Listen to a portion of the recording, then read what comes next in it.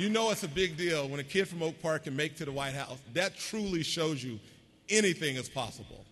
So when you think about green and where we're going forward, 2011, we had great momentum, but in 2012, here's a few things that we want to do in 2012. First of all, we are launching something called the Greenwise Joint Venture.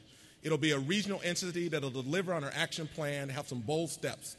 And the first thing that we're going to be announcing this year is we are going to raise an additional $100 million for retrofitting schools in 2012.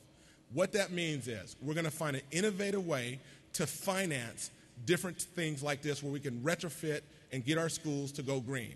Here's an example. You can have our county treasuries that invest back in Wall Street and get a 1% return on their investment, or they can pool their money locally, get a 3% return on their investment. That's what we're going to do here in our community. Everybody wins in that scenario. Our goal is to raise $100 million from local investors so our schools go green.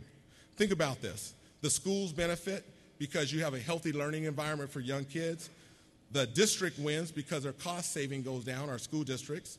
There's many benefits around our, our, our community. The investors benefit because you're talking about low risk, high rate of return.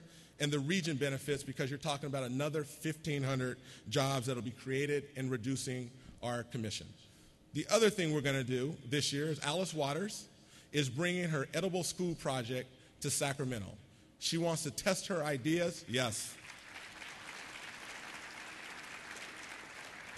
Alice wants to test her ideas for school gardens and cooking and healthy eating in Sacramento, the whole slow food movement.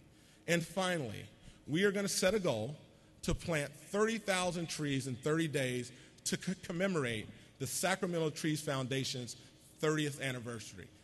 30,000 trees in 30 days in our community.